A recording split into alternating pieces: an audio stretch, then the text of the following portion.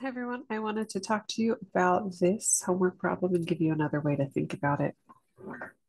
So I'm going to start by reading the problem. I've got someone who wants to invest a certain amount of money in an account that pays a certain interest rate and it's simple interest, and we want to know how long it will take for the investment to reach a certain value. So one of the formulas that we see is I, that's the total interest, equals P that's the starting value, R, T.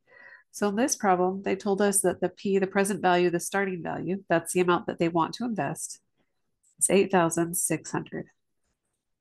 The interest rate is equal to 6 and 5 eighths percent.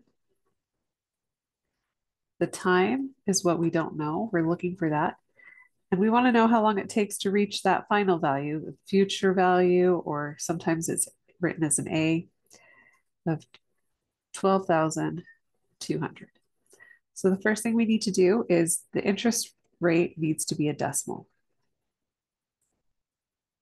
So if you know what uh, 5 eighths is as a decimal, great. If not, open up a calculator. I like Desmos.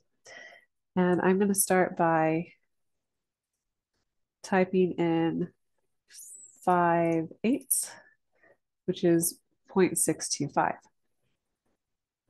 So that means that our interest rate as, it, okay, so it's going to take two steps to get this to a decimal. So first, 6.625%. And now to get it as a decimal, divide by 100. So take this number, divide it by 100, our rate is equal to 0 0.06625. So that's our rate. We know our present value. So we've got the present value, we've got our rate. Time is what we're looking for. I is the total interest earned. So to find I, we're going to compare the amount we started with and the amount we ended with. So this is our start. You put that much money in the bank. This is the end. This is how much you withdrew at the end, and everything else is interest. So I'm going to take 12,200 and subtract 8,600. And we'll just do some quick subtraction. So that means that we earned $3,600 in interest by just sticking it in the bank for a certain amount of time. So this right here is our I. So now we're going to set up our problem. I'm going to erase a little bit here so I have some room. So our formula is P uh, R T is equal to I. We know that, I'm going to go all the way over here, sorry. I is 3,600 our starting value, our present value is 8,600. Our interest rate was 0 0.06625 and time is what we're looking for. So I'm going to start by multiplying those two together. And so I'm going to pull out my handy dandy calculator in Desmos. Okay, so I'm going to multiply 8,600 by 0.06625 to get 569.75. So I'm going to write that down.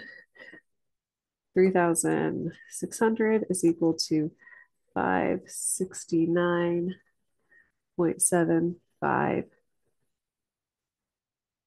There's a 7, 5, t. So now we need to get t by itself. And so the way we do that is we're going to use the idea of opposites. So anything divided by itself is 1. And so our goal is to get a 1t. And so to do that, we're going to divide this by 569.75 because these two values are being multiplied. 569.75 is being multiplied by t. So if we multiply both sides, divide, sorry, we're dividing both sides by one. So right here, 569.75 569.75. That divided by itself is 1. So we're really left with 1t is equal to whatever this works out to be. So come back over to Desmos and we're going to put in 3,600 divided by 569.75.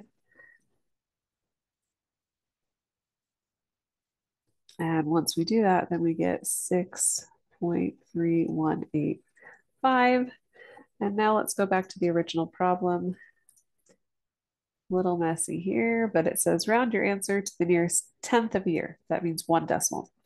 So our answer here is 6.3185. One decimal is just, uh, tenth is one decimal, so it's going to be 6.3.